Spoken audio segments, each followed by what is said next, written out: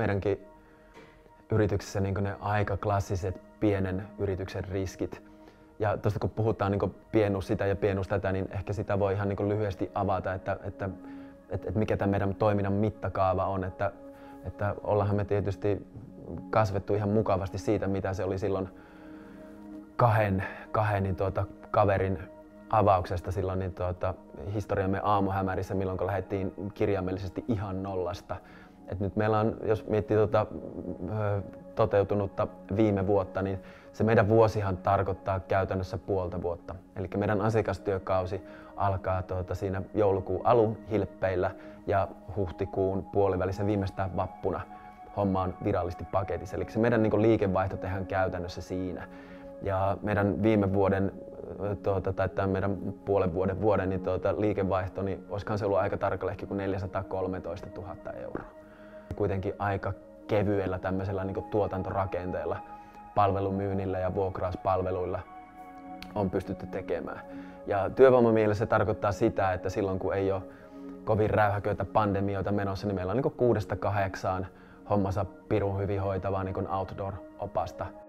Kyllähän niin mun mielestä ehkä ne kaikkein isoimmat riskit liittyy siihen, että jos siellä on niin kaksi, kolme henkilöä, mitkä on niin jonkunlaisessa niin tuota, strategisessa ja, ja niin operatiivisessa vastuussa myös, niin näin pienessä organisaatiossa napsahtaa aika kirpasevasti ihan niin terveyteen liittyvät asiat.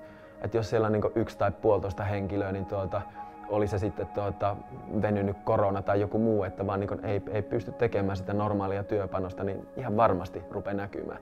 Eli, eli marginaalit on hyvin pienet. Ja en oikein sitä keksinyt, että miten tuohon voisi tuota varautua. Ehkä mietitty sillä tavalla, että meillä on niin onneksemme jonkun verran niin palaavia oppaita, mitkä on sitten ilahduttavasti halunnut tulla tavallaan sitä talvikautta tekemään uudelleen ja uudelleen.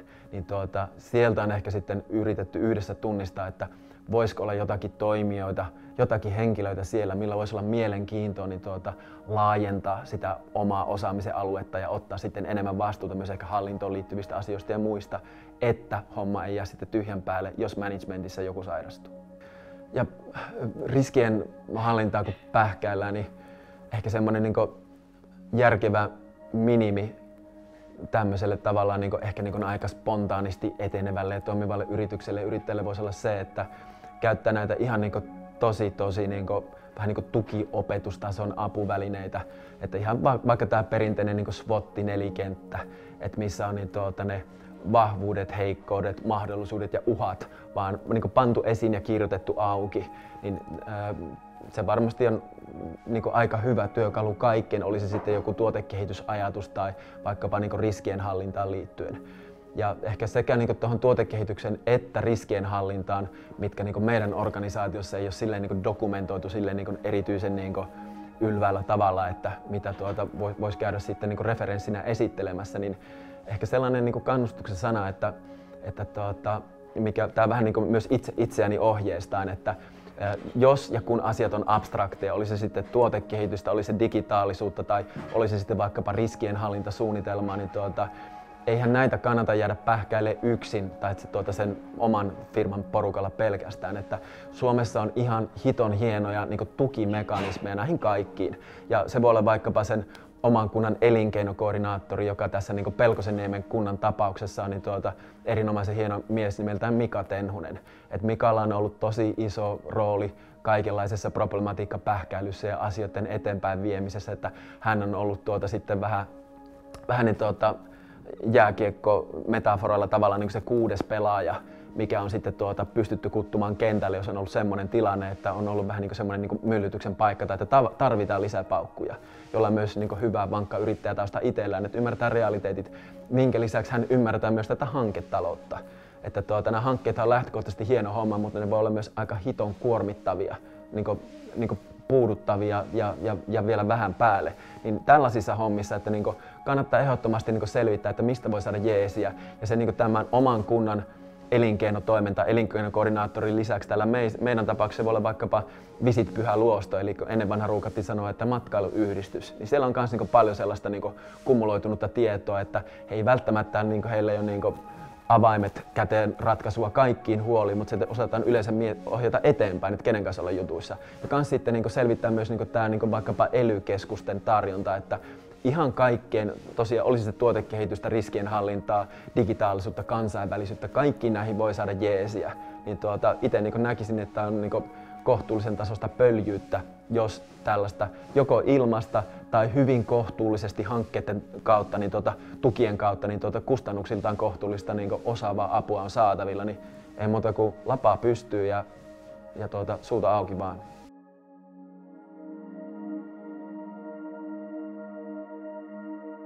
Tietysti yksi valtava riski, jos puhutaan niin talviaktiviteeteista, on tämä tämä ilmastokriisi lyhyesti sanottuna. Että se on kai niin aika todennäköistä, että se tulee muuttamaan toimintaympäristöä myös niin luonnonympäristön osalta. Ja, niin tuota, ja tuota, siitä nyt on erilaisia malleja ja, ja tuota, skenaarioita esitetty ja tuota, joissakin niistä on vähemmän lunta, joissakin niistä on enemmän lunta. Ja, mutta ehkä sen kaikkein niin todennäköisin skenaario on se, että, että yleinen ennustettavuus vähenee, että kelien niin vaihtelut muuttuu rajummaksi. Eli tarkoittaa sitä, että voi tulla jonkunlainen niin suojasään kausi keskelle talvea, että niin tuota, lumet sulaa ja sitten voi tulla murhapakkaset päälle. Niin tuota, tämä tietysti varmasti herättää, tai ainakin pitäisi herättää kysymyksiä kaikille sellaisille toimijoille, jotka on rakentanut jollakin tavalla niin lumen ympärille tai ehkä kirjaimellisestikin niin lumen päälle sen, sen oman elinkeinon, että, että mitä vaihtoehtoja siinä on. Ja tuota, no, varmasti tuota, aika, aika vaikea pähkinä purtavaksi niin, niin koiravalekko-yrittäjille kuin tuota, sitten hiihtoretkeilyjä ja fillariyrittäjillekin, mutta ehkä niin semmoinen niin jonkunlainen laimeen lohtuhan siinä on tuon, tuon niin polkupyöräpuolen nousu. Että, että jos pitää miettiä, että millä yhdellä välineellä pystyisi aika vaihtelevissa olosuhteissa tekemään niin asiakastyötä, niin kyllä ne varmaan noin fättärit, läskipyörät on, eikä vähiten niistä se sähköinen versio, mikä laskee kynnystä sitten myös välttämättä niin tuota, vähemmän atleettisille asiakkaille saada onnistuneita niin outdoor-kokemuksia.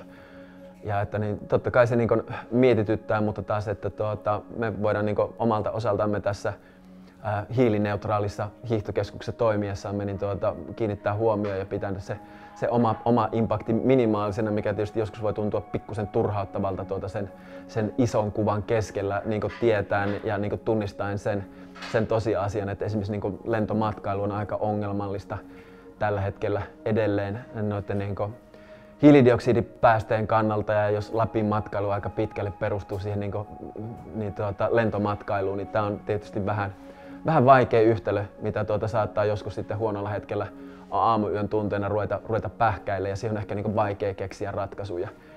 Ja ehkä niin kuin meidän tekemiseen niin kuin tuo tiettyä mielenrauhaa se, että ilman että on minkäänlaisia niin apokalyptisia tunnelmia, että, että kaikki menisi jotenkin tuota, rikki ja, ja pilalle, on, on se, että jos niin kävisi, niin tuota, meillä ei ole siinä mielessä, että niin tuota, miten mä sanoisin, että, että, että, että meidän niin kuin, kriittisiä elintoimintoja ei ole niin johd, johdotettu kiinni tähän elinkeinoon. Että jos niin kävisi, että tämä, homma kuivahtaisi, niin mä luulen, että me niin päästäisiin enemmän tai vähemmän kuivin jaloin pois siitä niin kuin, siinä mielessä niin organisaationa ja yrityksenä, että, että mehän pyöritetään tämä niin Bliss Adventurein perushomma niin aika kevyellä rakenteilla. Ainoastaan niin vähän karrikoiden, että, että niin hakku ja valjaat, jos me puhutaan niin jääkiipeilystä jotakin siihen päälle. Ja okei, totta kai on sitä pyöräkalustoja ja muuta, mutta tämä on niin hurjan eri tilanne, jos verrataan sitten tähän niin tuota, vaikkapa siihen kuuluisaan konepajayrittäjään, joka joutuu sitten panemaan satojen tuhansien niin tuota investoinnit tiskiin, että pääsee edes sen niin